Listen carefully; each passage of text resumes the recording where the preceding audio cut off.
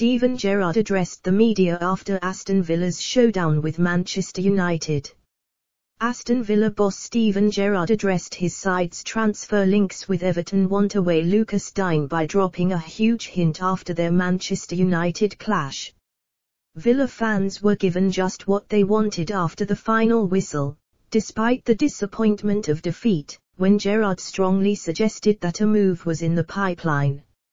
Villa put up quite a fight at Old Trafford on Monday evening, even if they did not come away with the win.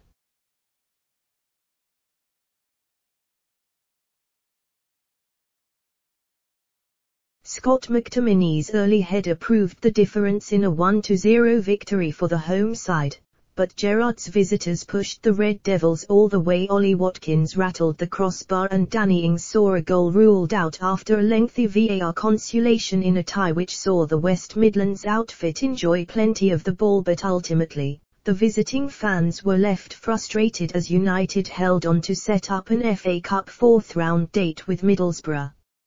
Villa and United are set to face off in the Premier League on Saturday, by which time Gerrard and co.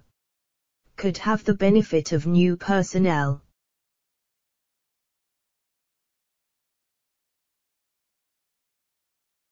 Philippe Coutinho has already been signed on loan in a blockbuster deal from Barcelona while Villa have also been linked with French left-back Lucas Digne in a deal which could demand a fee of around £25 million after the final whistle. A disappointed but encouraged Gerrard elaborated on links that have excited fans over the past few days we are working hard on targets. He admitted. It is not respectful to mention any names but there is no smoke without fire and we want to try and improve certain areas of our team and our squad.